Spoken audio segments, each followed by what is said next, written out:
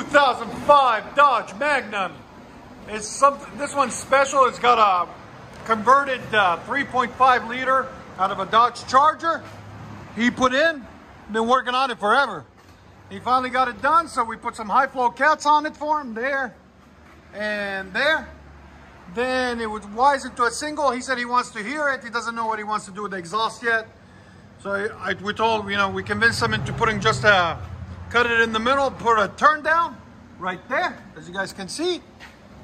There it is. We'll let you guys hear it. There's the muffler and resonator we cut off and everything else. We took all that off. He's gonna get a new bumper and uh, he's fixing it up. He's gonna make it a sleeper. It's gonna sound really nice once it's all done.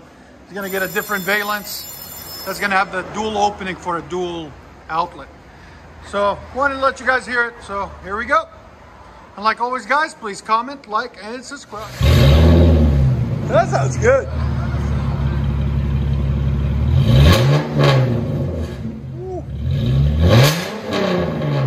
That's wild, bro. Wow. There's sound decibels? 116, bro. That's awesome.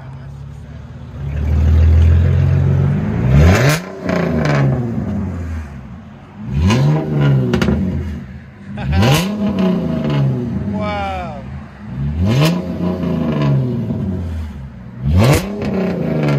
Dodge Magnum.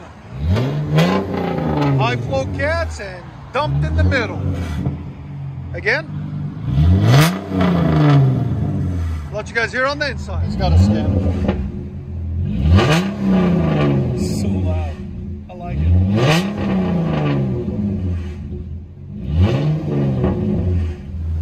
Dodge Magnum 2005. Got the 3.5 liter Charger motor in it. It's a 3.5 conversion.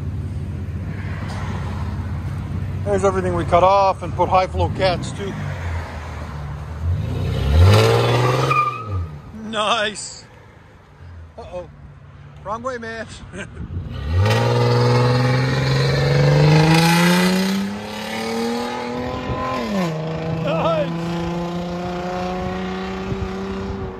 What do you guys think? Let us know in the comments what you thought about that.